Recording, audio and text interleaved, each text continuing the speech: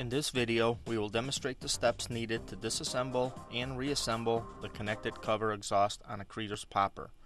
Be sure to allow the kettle to cool down sufficiently for safe handling of these components. First, loosen the two wing nuts that hold the ventilation tube to the ceiling duct. Then rotate the ventilation tube and set it in the kettle.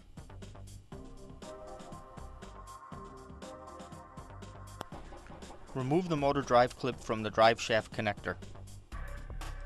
Remove the cover retaining clip and allow the cover lift rod to go up into the ceiling of the cabinet. Dump kettle slightly and remove the drive shaft.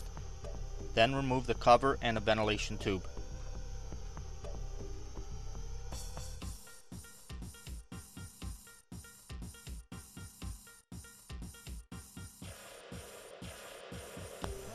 Remove the ceiling duct by unsnapping the four fasteners that hold the duct to the ceiling of the cabinet.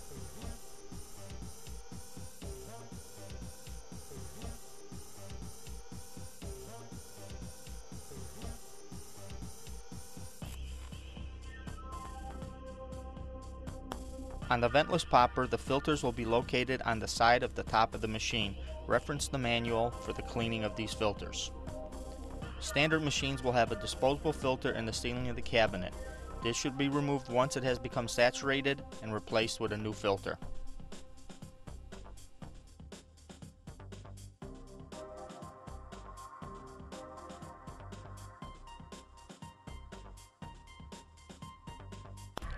To reassemble, you will first need to install the ceiling duct. Be sure to line up the holes on the duct with the oil discharge tube and cover lift rod. On standard machines, you will have four pins that you will need to line up with the holes in the ceiling of the cabinet. On ventless poppers, there is a Z-bracket on the ceiling of the cabinet that you would place one end of the duct and the two pins on the duct that you will need to line up with the holes in the ceiling of the cabinet. Once the ceiling duct is in place, secure it with the four fasteners.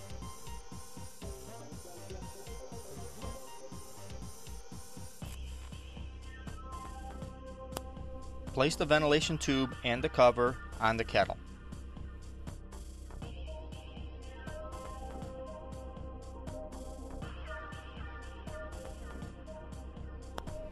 Then insert the drive shaft into the connector on the motor, line up the hole in the shaft with the slot on the connector and insert the motor drive clip.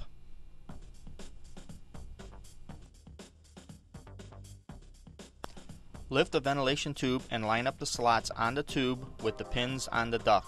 Push up and rotate. Secure the ventilation tube with the two wing nuts. Lift kettle cover and insert the cover lift rod into the fitting on the cover. Line up the holes and insert the cover clip. Be sure the cover moves up and down freely.